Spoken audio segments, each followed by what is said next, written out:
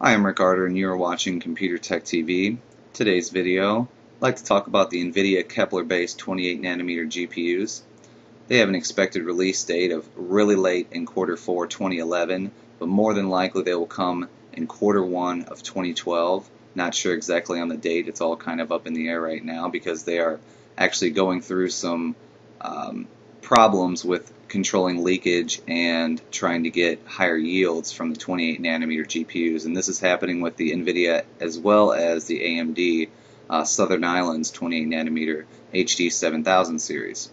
Now, one thing that I did find was that the Kepler 28 nanometer GPUs will feature three to four times the performance per watt over the old Fermi core and double precision 64 bit floating point operations.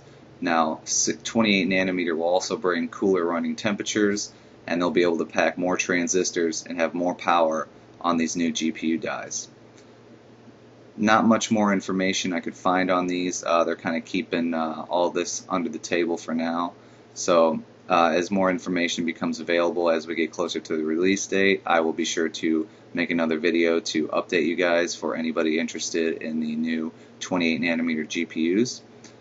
That concludes the video. Thanks a lot for watching. Uh, description box will have the links to all the information if you guys would like to check out more. Thanks a lot for watching, everyone. More to come.